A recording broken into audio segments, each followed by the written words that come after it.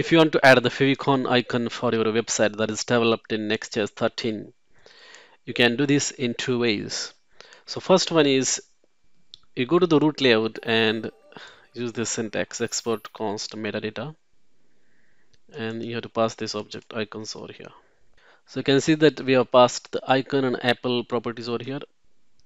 So for Apple products, we need different kind of uh, image. So that's why we have got these two image files over here. So this is one thing. You can export this metadata from the root layout. You can see that there is this layout file which is right under this app directory. So this is one way. So what will happen is that after you add this, it will automatically insert that meta tag.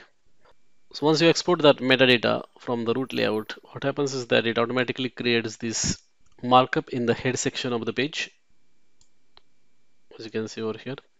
So it really depends upon what kind of file you are passing. So if you pass the favicon.ico, then it is going to create this markup. If it, you pass icon.ico, then it is going to create this markup.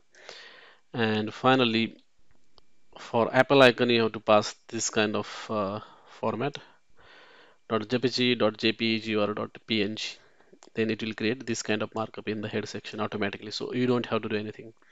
So that is one thing. And the other thing is that uh, other way in which you can do this is by placing this uh, favicon.ico file in the root directory.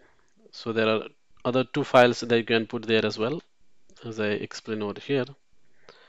You can also put uh, icon.ico, icon.jpg, or you can also put apple icon.jpg, jpeg, or png. So all these files you need to put it in the root directory that is under app directory. Then what will happen is that Next.js is automatically gonna create the markup for you. You don't have to do anything. Just put the file under app directory. That's it. So I'll uh, show you the example as well. So you can see here that this particular favicon you can see here so that is there because I had put this, that particular icon in the root directory that is app directory. And if you could look at the head you will notice that there is this link icon and href is favicon.ico okay? So this is automatically generated for you. That's it. Thanks for